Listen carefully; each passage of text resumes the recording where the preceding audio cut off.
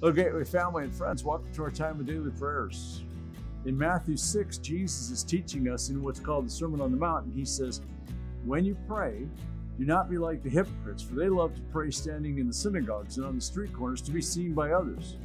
Truly, I tell you, they've received their reward in full. When you pray, go into your room, close the door, pray to your Father who's unseen. Then your Father who sees what is done in secret will reward you. Prayer's not about a show.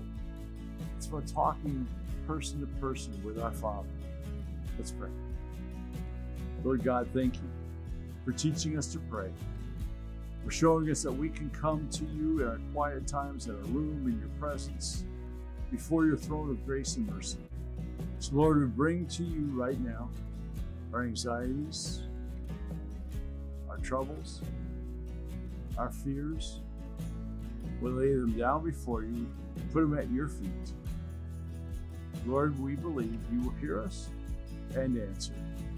Thank you. In Jesus' name, amen. Thanks for joining us for a time of daily prayers.